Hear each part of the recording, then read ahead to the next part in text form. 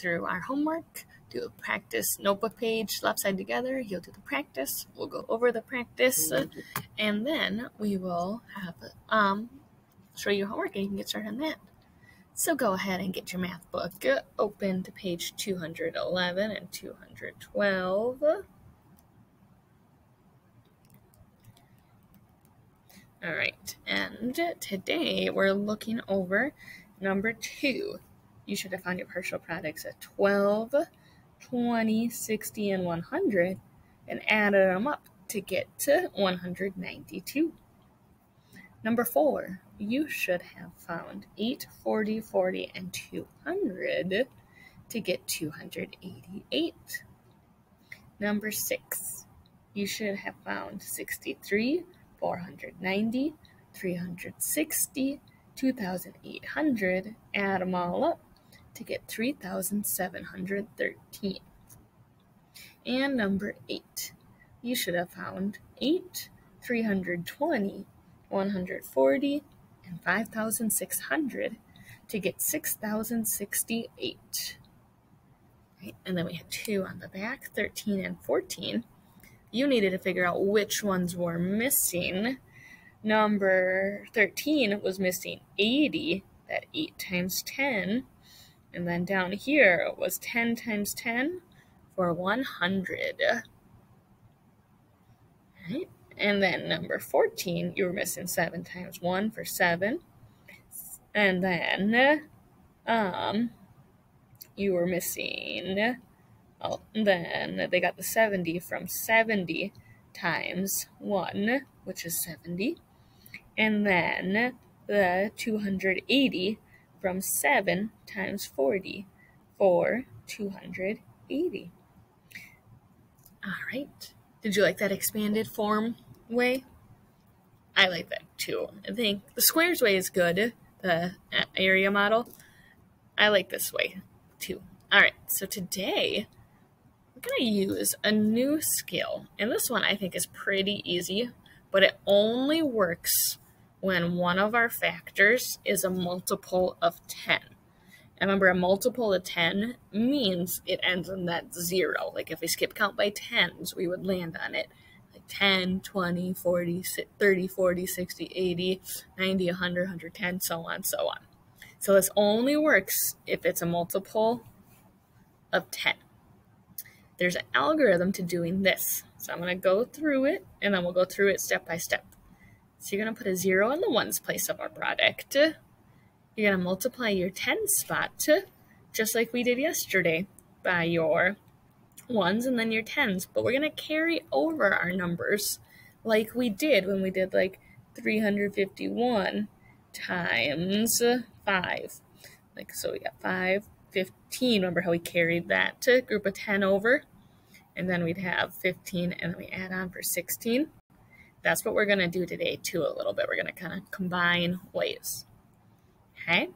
And then we're going to multiply by the 10 spot and add if we need. It sounds a lot more complicated than it is. So let's do two together. So first thing I need to do is put a zero in my pro in my product. Because if I multiply all of these guys by zero, what's zero times two?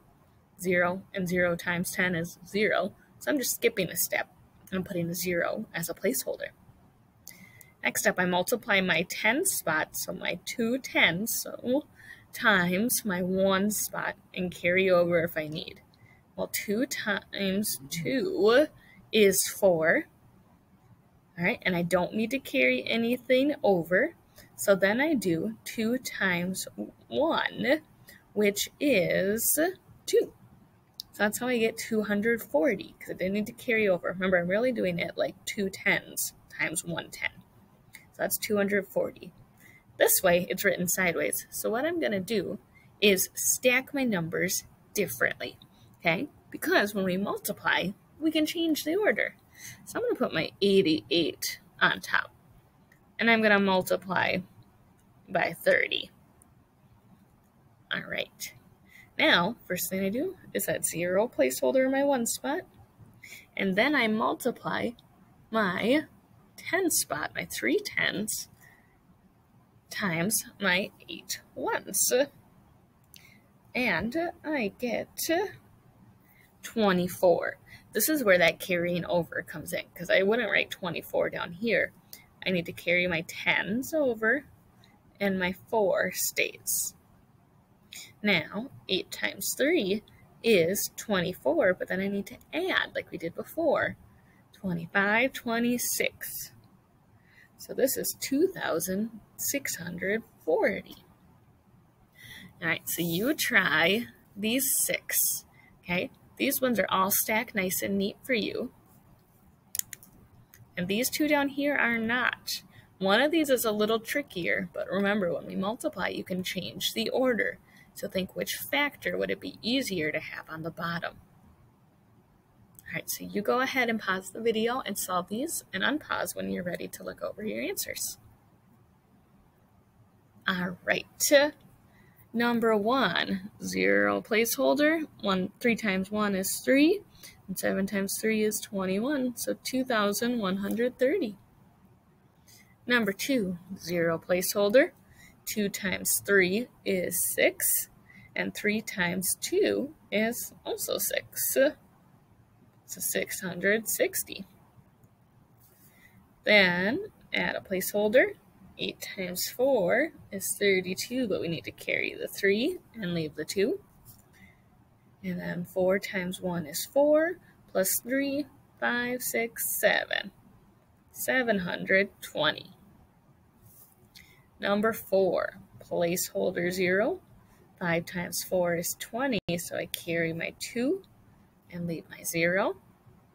5 times 2 is 10, and add 2 more for 12, 1,200. All right, these ones were the slightly trickier ones. You needed to stack them with your 24. You want your 40 on the bottom, because remember, then we can do our shortcut. We can have our 0 right there. 4 times 4 is 16. 4 times 2 is 8, plus 1 is 9. You should have got 960. Remember, don't add these guys. Add on after. Try remember to multiply. All right, and then next up we had 40 times 73. But if we write that out, that's not really easy for us to do in our head. Ugh. So we're going to write 73 first. I hope you did that. Times 40. Then I can do that shortcut of adding a 0. And 4 times 3 is 12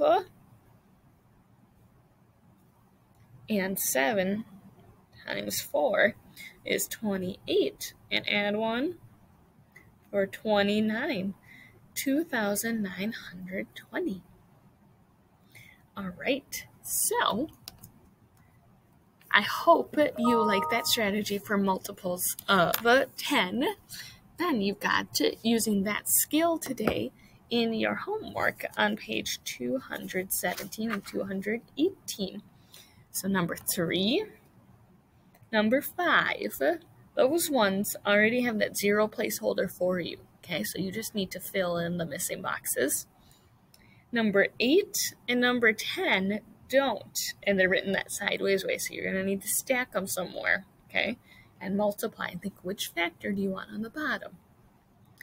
And then on page 218, we have 12 is a review problem, and 14 Okay, it's a word problem. Hint, hint. All right. Let me know if you have questions. Otherwise, have fun multiplying by multiples of 10. See you soon.